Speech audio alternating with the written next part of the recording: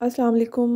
Last night मैंने skin ए cream यानी tretinoin इस्तेमाल की और अल्हम्दुलिल्लाह थैंक्स टू अल्लाह के कोई भी हार्श रिएक्शन नहीं हुआ मेरी स्किन पे। इनफैक्ट मुझे अपनी स्किन में ग्लो फील हो रहा था इन द मॉर्निंग और यहाँ मॉर्निंग स्किन केयर कर लेते हैं, थोड़ी सी फेस वॉश करने के बाद मैंने यहाँ पर ओरी फ्लेम का टोनर इस्तेमाल किया है। आप देखें टोनर इस्तेमाल करते ही स्किन में हल्का सा ग्लो फील हो रहा है, ठीक है? यहाँ मैंने कोई लाइट इस्तेमाल नहीं की हुई और यहाँ पर आप देख लें, उसके बाद मैं इस्तेमाल कर रही हूँ विटामिन सी सीरम डरमेटिक का।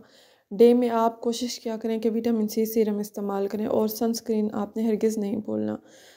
सनस्क्रीन आपने लाजमी लगाना है। अगर आपकी स्किन ड्राई है मेरी तरह तो आपने क्या करना है? इसके बाद मॉइस्चराइज़र इस्तेमाल करना है। यहाँ मैं पॉन्ड्स का सुपर लाइट जेल मॉइस्चराइज़र इस्तेमाल कर रही हूँ, जो कि आलमोस्ट ख़त्म होने वाला है।